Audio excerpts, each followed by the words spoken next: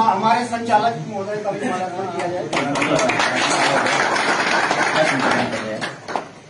धन्यवाद। अब ये यहाँ पर स्वागत का कार्य का कार्यक्रम पूरा हुआ। और अब जैसा कि मैंने कहा कि उत्तराखंड क्रांति दल उत्तराखंड को बचाने के लिए जद्दोजहद कर रहा है, संघर्ष कर रहा है। उत्तराखंड जिस प्रकार से उत्तराखंड राज्य की स्थापना के लिए, उत्तराखंड राज्य प्राप्ति करने के लिए तमाम उत्तराखंडियों ने अपना बलिदान दिया था, अब समय ब्लॉकों में कार्यकारिणी गठित कर, ब्लॉकों के प्रत्येक गाँव में जाकर प्रत्येक क्षेत्र की समस्याओं को समाधान करने हेतु तो एक मज़बूत, सशक्त संगठन बनाने की जो मनसा उत्तराखंड क्रांति दल की है, उसी कड़ी में आज जखोली ब्लॉक में जो ये अधिवेशन है, आप सभी लोग यहाँ पर अपनी अपनी बात रखेंगे, उसके उपरांत ब्लॉक कार्यकारिणी का गठन होगा। तो मेरे पास यहाँ पर हमारे बीच में जयवास भट्ट जी गुजार गाँव से हैं। मैं आपसे चाहूँगा कि आकर संबोधित करें। भाई, भट्ट जी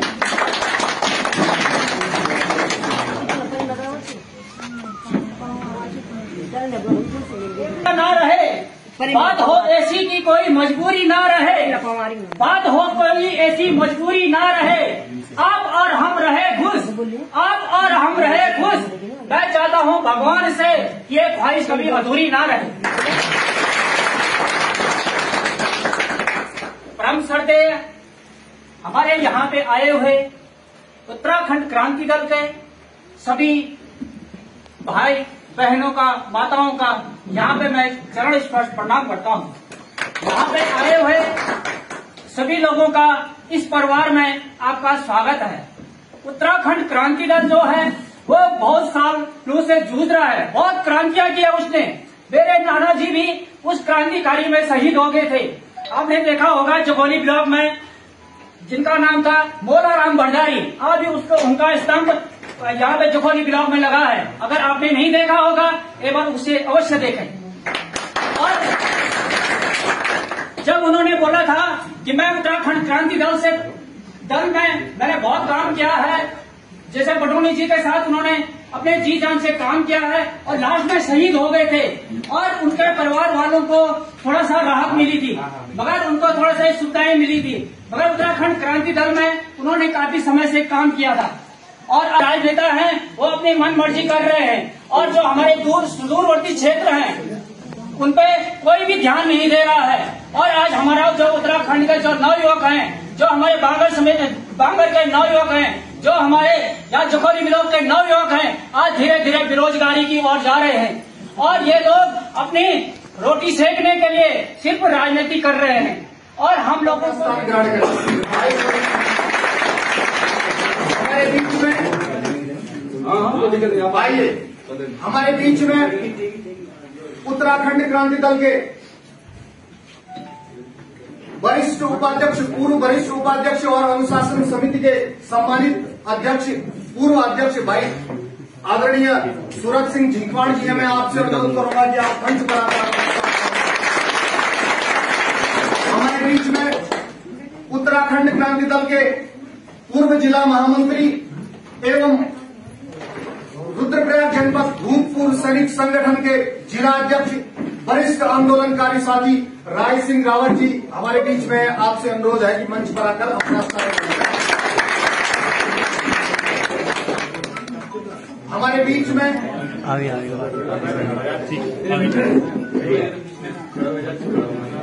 हमारे बीच में हमारे ब्लॉक संयोजक जो है, हमारे बीच भाई कमल रावत आपसे अनुरोध है कि मंच पर आकर अपना स्थान बनाएँ। हमारे बीच में सौरा जवानी क्षेत्र से पूर्व जिला पंचायत सदस्य भाजपा के पूर्व वरिष्ठ नेत्री और क्रांति दल में जो शामिल हुई है। देश कल्याण नेत्री आशा खंडूरी जी हमारे आशा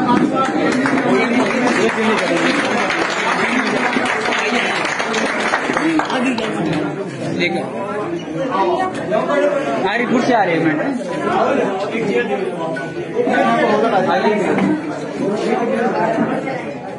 उत्तराखंड में रहे हम आशा करते हैं कि इनका विनाश करके और अपने भविष्य भविष्य को जनता के भविष्य को आगे बढ़ाए तथा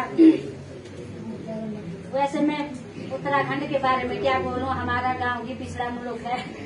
हमारे प्रधान जी, हमारे ब्लॉक प्रमुख जी और हमारे विधायक जी अभी तक हमने अपने ग्राम सभा में नहीं देखे हैं। जब तक इन, जब से इनको पद मिला है तो हमने अपने ग्राम सभा में कभी इनका दर्शन नहीं किया। तो आशा करती हूँ कि डिमरी जी से जब आप पदाधिकारी बनेंगे हमारे उत्तराखंड के तो कभी भी दर्शन दिया करो, गरीबों का साथ दिया करो।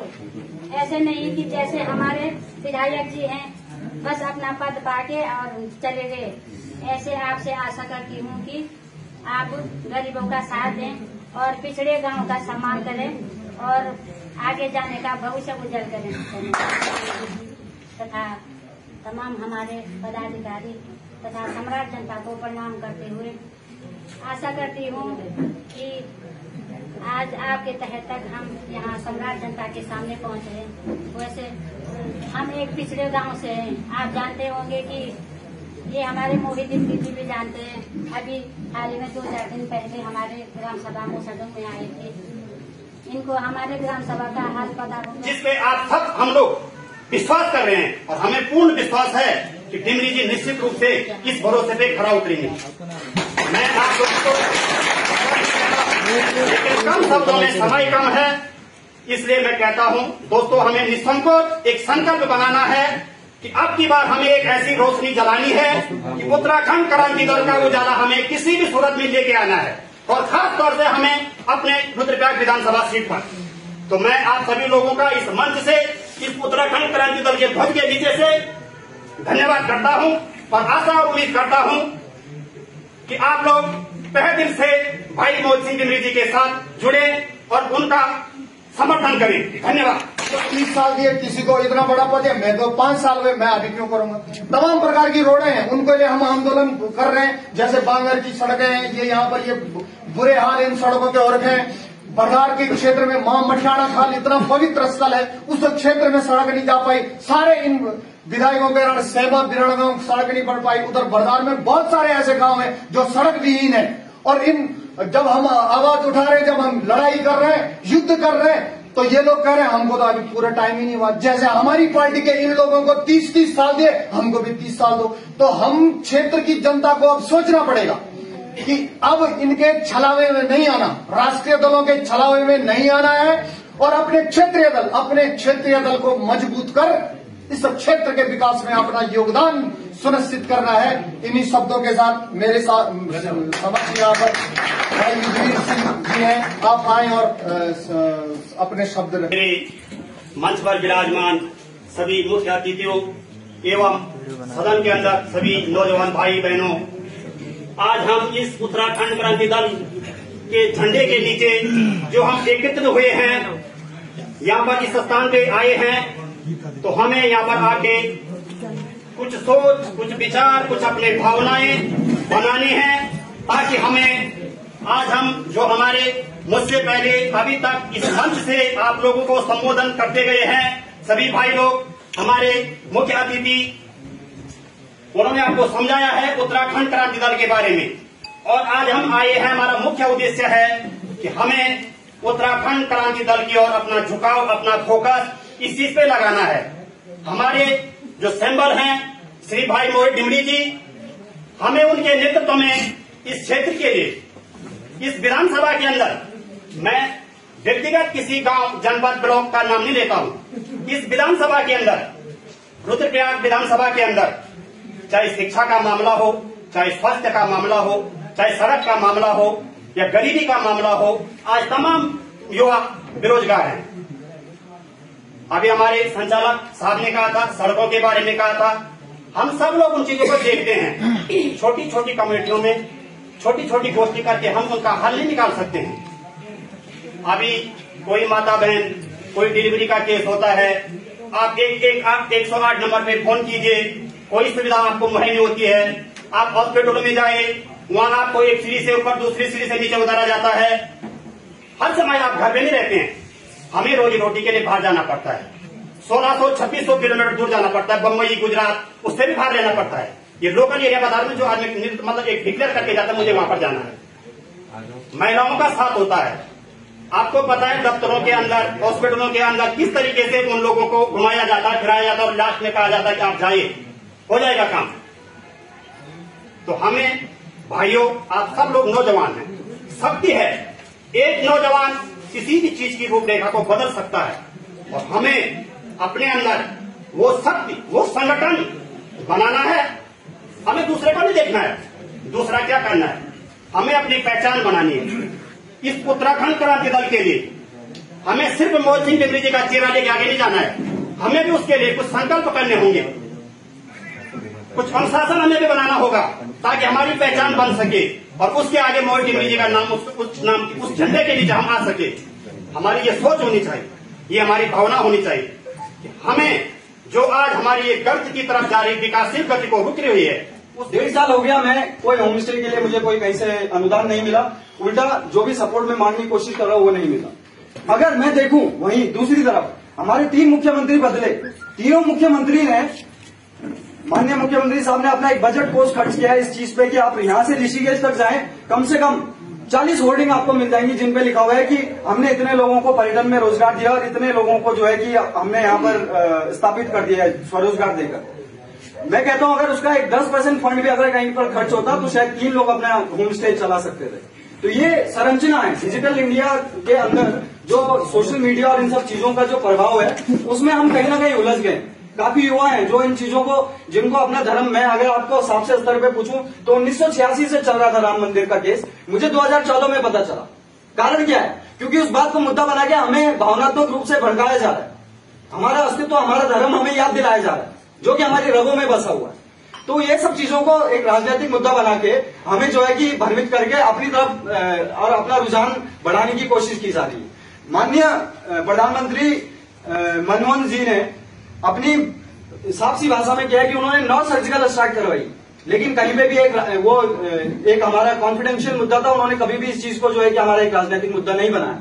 उन्होंने वो नौ सर्जिकल स्ट्राइक करवाई थी। वहीं आज एक सर्जिकल स्ट्राइक होती है, उसमें आप हज़ारों पेड़ जला देते हो या जो भी करते हो और एक पूरा माहौल बना देते हो कि हमने जो है कि सर्जिकल स्ट्राइक कर दी। तो ये जो राजनीतिक खेल हो रहा है सोशल मीडिया के माध्यम से, कहीं ना कहीं युवाओं को और आप सभी लोगों को उस चीज़ में अपना भी योगदान देना है। अगर जब खेल ही वही खेला जा रहा है तो उस खेल में हमें भी एक अपना स्तर बना के, अपनी सही बात रख के, सही तथ्य से वो बात रख के सोशल मीडिया पे भी अपना एक मार्केट और एक अपना टीआरपी क्रिएट करना पड़ेगा कि हम ज़्यादा से ज़्यादा लोगों तक पहुँच सके। बात धरातलसार या उनकी जो इच्छा थी, उस इच्छा अनुसार अगर पद ना भी मिले तो वो कहीं पर मुद्दा नहीं होना चाहिए, क्योंकि धरातल पर अगर देखा जाए तो हम सभी लोगों का एक ही टाइटल होना चाहिए कि हम उत्तराखंड क्रांति दल के वो क्रांतिकारी हैं जिन्होंने दबे हुए धरातल में जो हमारा एक अस्तित्व कहीं ना कहीं है, राजनीतिक माहौल और एक अच्छा वित्त कोष होने की वजह से जो हमें दबा दिया गया था, हम अपनी उस बेरोजगारी की आवाज़ को या उस संघर्ष की आवाज़ को दोबारा उठाएँगे और उत्तराखंड क्रांति दल को वापस धरातल पर वर्चस्व में लेके आएँगे और विधानसभा तक लेके जाएँगे। एक व्यवस्थापिका बनाने का संचालन था, जो क्षेत्र की जरूरतों को संसद या फिर केंद्र स्तर पर ले जाकर उसको सरकारी कोष से लेते हैं। वो राज्य कोष के अंश में अगर आप ढूंढेंगे तो अगर आप मार्केट से एक पार्ले जी का बिस्किट भी लेते हैं तो उसके अंडर जो टैक्सेशन जाता है वो सरकार तक पहुँचता है। तो कहीं ना कहीं आप जिस विकास को इन नेताओं से और इस नेता प्रतिपक्ष या राजनीतिक संरचना से जिस चीज़ की मांग करते हैं उसका पैसा कहीं ना कहीं आपकी जेब से ही जा रहा है। तो सर्वप्रथम हमें उन चीज़ों को, अपने मौलिक अधिकारों को और उस धरातल को समझना पड़ेगा कि जहाँ हम राजनीति की बात कर रहे हैं, वो सबसे बड़ी देश की सबसे बड़ी व्यवस्थापिका है, जहाँ से हम बदलाव और विकास की मांग कर सकते हैं। जहाँ पे एक सरकार और एक अधिनियम हमारे लिए बना हुआ है, जहाँ हम किसी भी अधिकारी को जाकर अपनी मांगों के लिए, अपनी जरूरतों के लिए अपनी मांग कर सकते हैं, अपनी प्रार्थना रख सकते हैं। वहीं पर हमारा मौलिक अधिकार है कि अगर हमारे वो कार्य पूरे नहीं हो रहे तो हम उन चीज़ों के लिए आवाज़ उठाएँ। और जब वो चीज़ें नहीं हुई उत्तर प्रदेश सरकार के द्वारा हमें एक नजरअंदाज नज़रिए से हमें देखा गया तो तब उत्तराखंड क्रांति दल ने एक स्थापना करके उस चीज़ को आगाज़ किया था कि हम अपना एक अलग राज्य का स्थापना करेंगे और हमारी एक सही व्यवस्थापिका बनेगी और हमारे दुर्गम व सुगम सभी क्षेत्रों को एक बराबरी से विकास की मुख्य धारा से जोड़ा जाएगा और हमें एक बदलाव मिलेगा। किंतु कहीं ना कहीं उत्तराखंड क्रांति दल ने अपनी स्थापना के बाद अपने उस संघर्ष के बाद अपनी उस थकावट में अपना वो वर्चस्व खो दिया। जिस वर्चस्व के लिए हम सभी लोग आज दोबारा एकत्रित हुए। तो उस वर्चस्व में अपना अनुदान देने के लिए इस तरह समाहित बैठने से मुझे नहीं लगता है कि कोई क्रांति घर घर तक पहुँच पाएगी या कहीं पर बदलाव हो पाएगा। तो मेरा आप सभी से एक विनम्र निवेदन है कि हम सभी लोग इस चीज़ को लेकर, जहाँ आप देख रहे हैं कि एक राजीव गांधी जी ने अपने समय में जिस डिजिटल इंडिया की बात करी थी। मोदी जी ने उसको किस अच्छे ढंग से बनाया, आप बहुत अच्छे से उसको जानते हैं। मेरे बीच में मैं आज होम स्टे क्षेत्र में या एक पर्यटक के क्षेत्र में एक स्थायी रूप से काम कर रहा हूँ पिछले डेढ़ साल से। तो मैं आपको लिखित रूप से और एक अगर कहीं पर उस चीज़ को लेकर अगर साक्षात्कार करने की बात अगर कहीं पे होती है तो मैं साक्षात्कार भी कर सकता हूँ कि हमारे बीच में जो राजनीतिक मुद्दे रखे जाते हैं, वो सिर्फ़ एक बदलाव और विकास की बातें करते हैं। मैं आपको साफ़ साफ़ से जहाँ पर्यटन में ज़्यादा विस्तृत रूप से या विस्तारित रूप से यहाँ पर हमारे बड़े भाई मोहित टिमरी जी हैं जो समय समय पर हमें जागृत करते रहते हैं कि किस तरह हमारा संस्कृति, किस तरह हमारा समाज, किस तरह हमारा विकास इन नेताओं के प्रतिपक्ष में और इनकी बातों में जो है कि उलझ के रह गया लेकिन पर्यटन मेरा ध्येय जिसमें मैं कार्य कर रहा हूँ तो उसके समीकरण में मैं आपको छोटी छोटी बातें बताऊँगा, जहाँ से आप आज की दौर की राजनीति का स्तर समझ पाएँगे कि ये क्या मज़ाक चल रहा है हमारे साथ। पर्यटन होम स्टे को लेके क्षेत्र क्षेत्र में विधायक और सभी लोग आकर बोलते हैं कि आपको जो है कि हम अनुदान दे रहे हैं, आप उठिए और स्वरोजगार के लिए काम कीजिए। मैं एक साल पहले ऋषिकेश